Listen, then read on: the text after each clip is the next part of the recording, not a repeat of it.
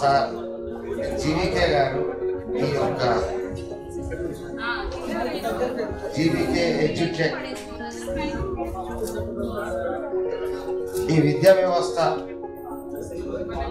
ప్రారంభానికి ముందే వారు మాకు తెలుసు.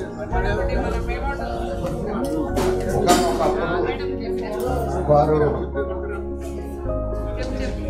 ఇక్కడ వ్యాపారం జరుగుతుంది విద్యా వ్యాపారం జరుగుతుంది. భారతదేశంలోనే కానీ ప్రపంచ దేశాలంతా విద్యను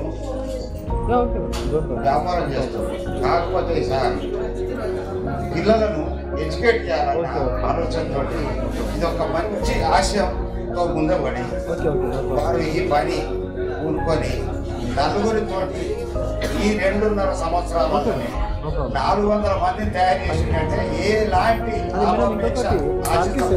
ఒక యాభై మందికి ఒక యాభై మందికి ఉపాధి కల్పించుకో ఓకే ఓకే.